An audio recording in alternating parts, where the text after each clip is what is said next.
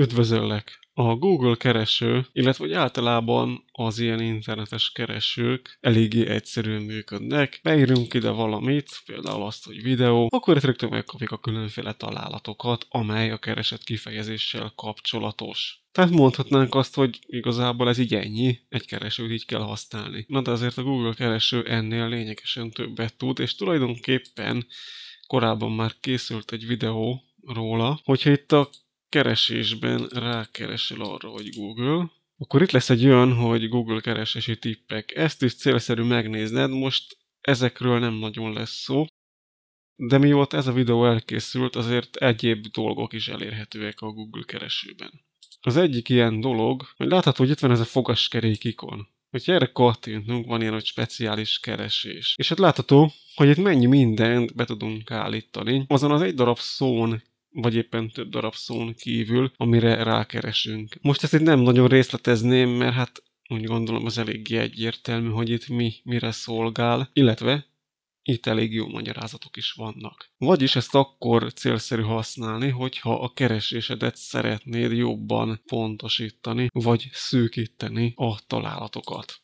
Aztán megint kattintunk ide, van ilyen, hogy keresési beállítások. Úgy gondolom, hogy itt a különféle dolgok, azok szintén eléggé egyértelműek. Van ez a Google Instant következtetések. Ez az, amikor megnyitom újra, elkezdek gépelni, és látható, hogy rögtön itt adja a találatokat, ezt, ezt kell be lehet zárni, hogyha nem záródik be, ezt a lenyíló részét, és akkor látható, hogy rögtön itt vannak a találatok. Nem kell még a keresésre sem kattintani. Ezzel kapcsolatosan van itt néhány beállítási lehetőség a keresési beállításokban, ez a Google Instant következtetések. Hát ezt sem árt úgy átnézni. Meg itt van ilyen, hogy nyelvek, ha valamiért nem szimpatikus, hogy magyarul jelenik meg, akkor ezt itt át lehet állítani. Illetve konkrétan a Google termékeire vonatkozik ez a beállítás. Na de menjünk menjünk vissza.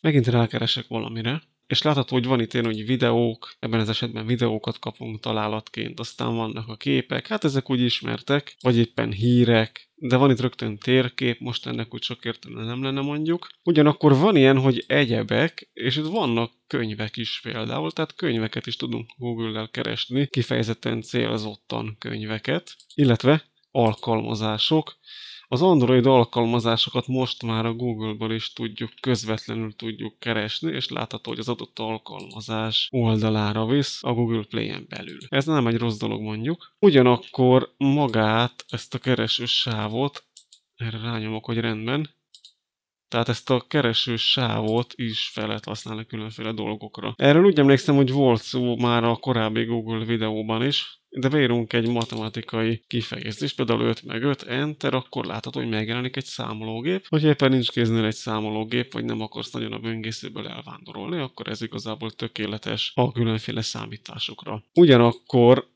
ez ennél bonyolultabb dolgokat is tud, például grafikont is tud rajzolni, ezt begépeljük angolul, utána jön a for kulszó, és hogy miből szeretnénk. Például X a négyzeten. A négyzeten az Alt GR lenyomása és nyomva tartása, és a hármas gombot kéne kétszer megnyomni. Ekkor kétszer beírja ezt a karaktert, de egyet vissza lehet törölni, viszont ezt így egyszerűen be lehet gépelni. A négyzeten nyomunk a keresésre, és látható, hogy tényleg kirajzol egy grafikont, ami nem csak egy statikus grafikon, hanem tulajdonképpen egy interaktív grafikon. Tehát tud ez ilyet is, aztán tud mértékegységeket is átváltani, például egy méter egyenlő centiméter, enter, vagy rányomunk a gombra, és látható 1 méter 100 centiméter. Jó, hát mondjuk ez nem túl bonyolult, de ha mondjuk beírjuk azt, hogy egy mile egyenlő kilométer, akkor ez is működik. Egy mérföld, az 1,6 akármennyi kilométer. De ez úgy is működik, hogy egy mile to kilométer. Látható, hogy így szépen kiszámítja, átváltja.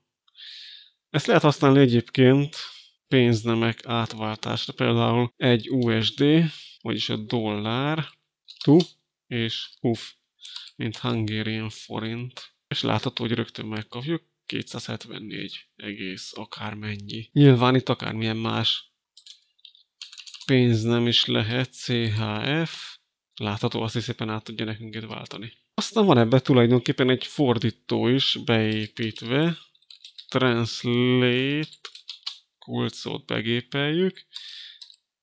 English, hát itt rögtön fel is ajánlja, to Hungarian. Beírom azt, hogy tri, látható, hogy megkapjuk azt, hogy fa. Illetve itt van további fordítás is, látható. Tehát akár itt is tudunk fordítani közvetlenül a Google-ben, hogyha éppen valamiért ellen lenne szükség. Arra is alkalmas, hogy például üzletekre vagy valamilyen helyekre keressünk. Például beírjuk azt, hogy Tesco Budapest, akkor itt rögtön egy térképet is kapunk, útvonalterv is van, illetve a konkrét weboldalt is fel tudjuk keresni, plusz még egy címeket is kapunk, és itt vannak a további helyek. Ha ezt kiválasztjuk, akkor láthatod, hogy itt fel van sorolva az összes. És itt már ténylegesen működő térképpel együtt. Sőt, még ez arra is képes, hogy beírjuk azt, hogy Budapest, vagy akármilyen más várost a világon, és forecast,